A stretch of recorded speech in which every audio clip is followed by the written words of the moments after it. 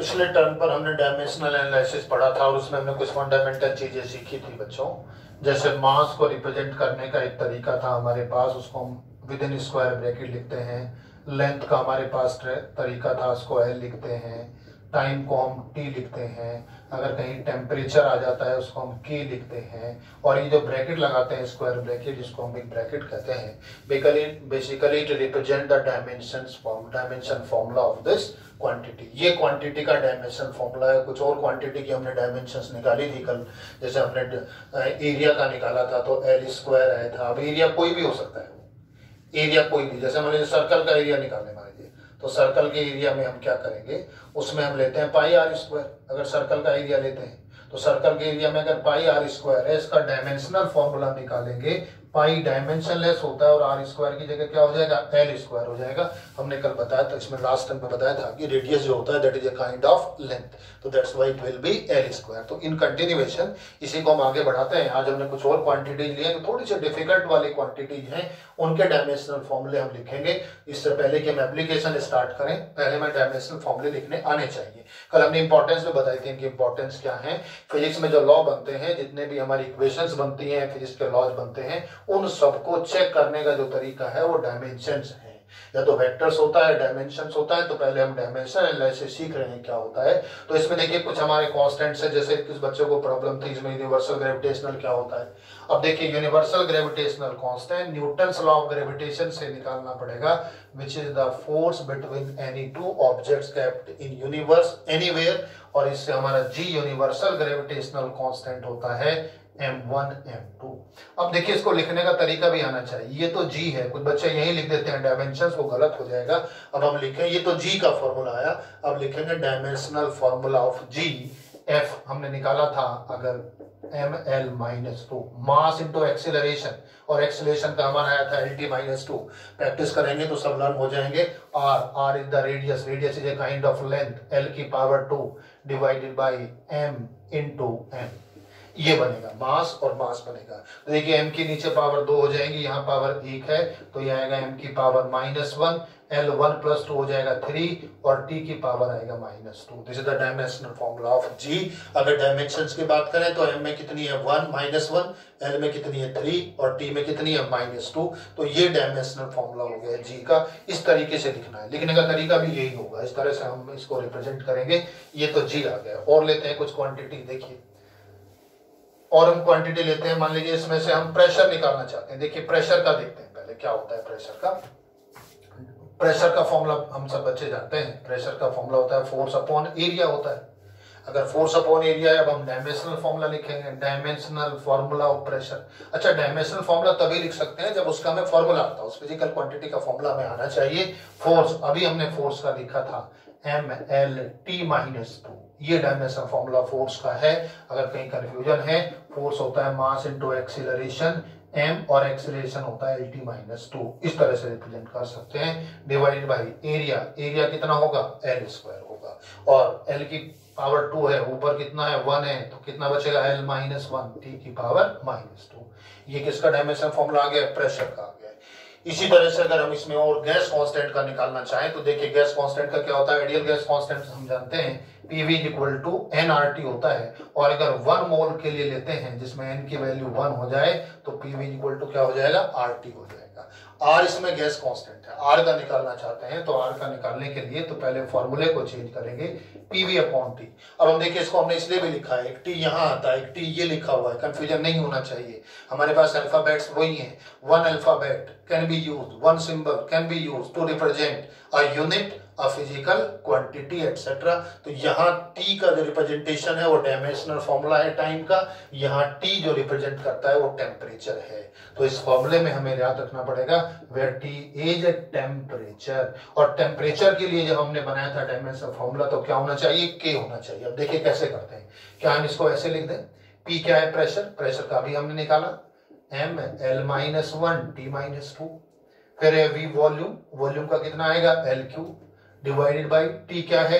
अब टी में हमें सावधान रहना पड़ेगा यहाँ। टी यहाँ पर टेम्परेचर है तो टेम्परेचर के लिए क्या लिखना पड़ेगा? के लिखना होगा।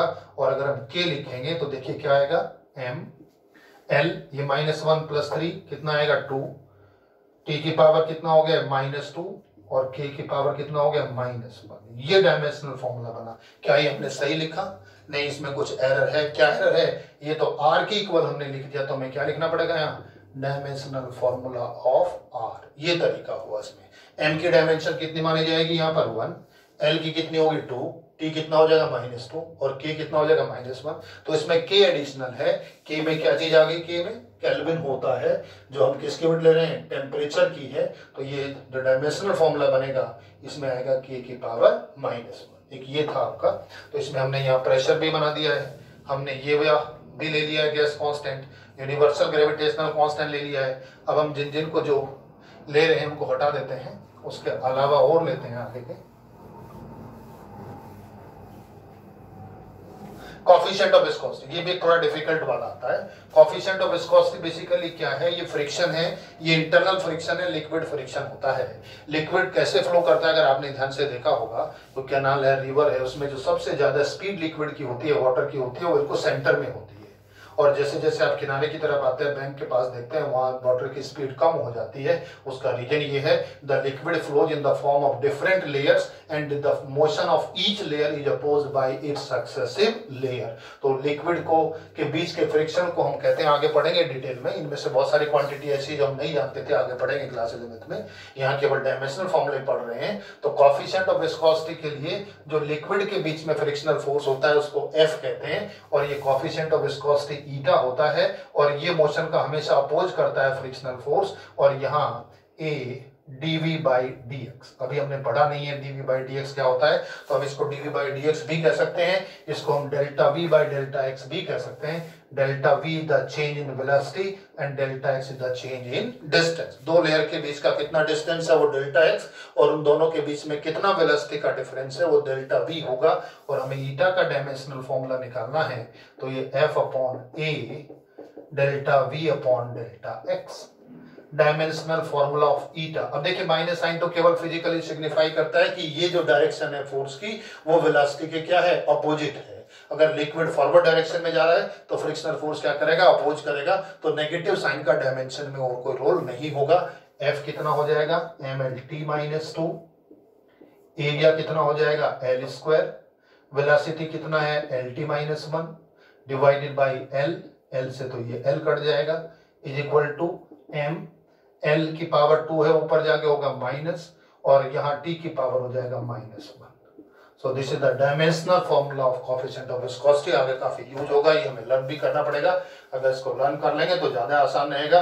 अभी हमने बताया कि ये मैथमेटिकल पैरामीटर जो बताता है, दो लेयर के बीच में कितना फ्रिक्शनल फोर्स है, ये हम कैलकुलेट कर लेते हैं। As far this stress is concern stress is again force upon area ये भी प्रेशर का आ जाएगा। स्ट्रेस और प्रेशर दोनों का सेम रहेगा। इसका फॉर्मूला होता है फोर्स अपॉन एरिया ये बताएँगे आगे डिटेल में कौन से वाला फोर्स होता है। ये नॉर्मल भी हो सकता है टेंजेंशियल फोर्स भी हो सकता है। इलास्टिसिटी में यूज़ करेंगे stress that is force upon area एक और क्वांटिटी आती है rate of flow rate of flow ये किसी लिक्विड के लिए आता है रेट ऑफ़ फ्लो जिसको हम वी कहते हैं। Basically it is volume per second volume of liquid per unit time that is called rate of flow और अगर हम इसका डायमेंशनल फॉर्मूला निकालेंगे v का then it will be L cube volume L cube हो जाएगा टाइम है t हो जाएगा L cube T minus one this is the rate dimension formula for rate of flow volume per unit time किसी unit time में पर second कितना volume liquid का फ्लो कर जाए किसी पाइप से that is called rate of flow rate of flow भी हो जाएगा। अगर सरफेस टेंशन की बात करें we take next surface tension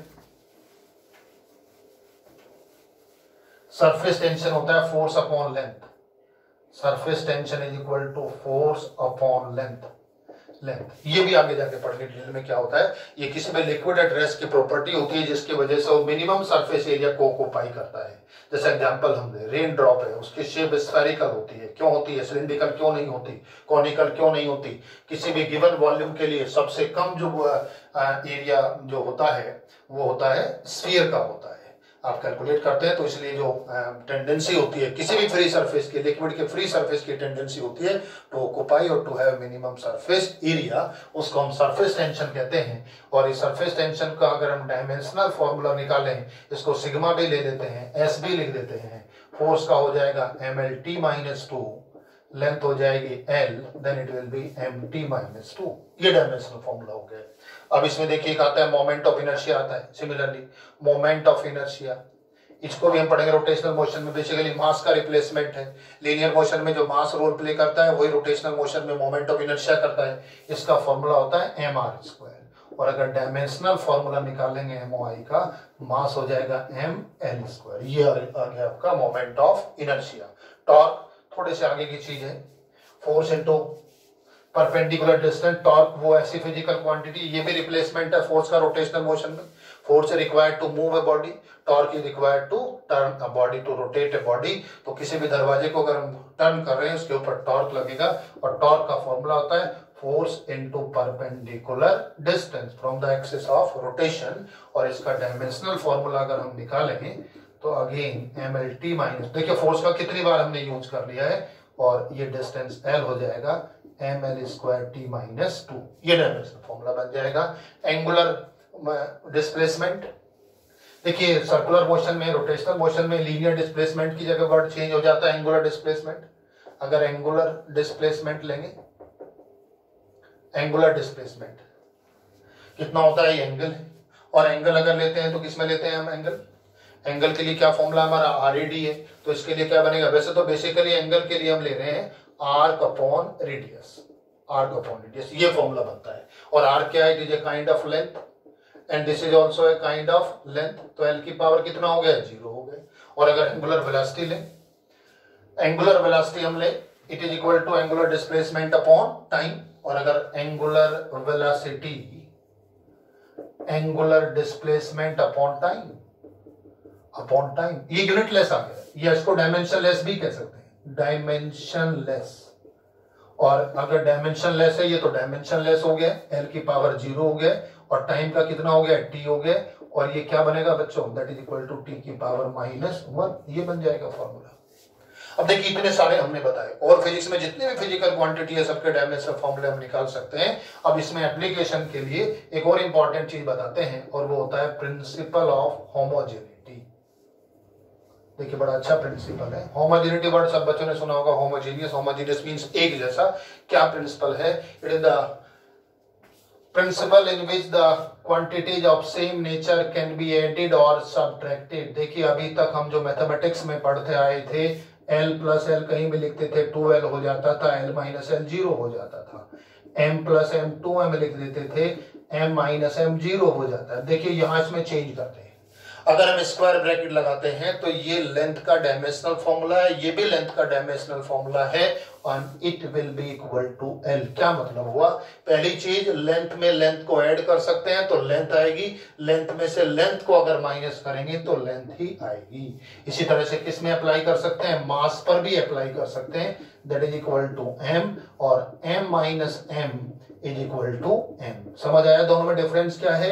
ये सिंपल मैथमेटिक्स था जो अभी तक हम पढ़ के आए।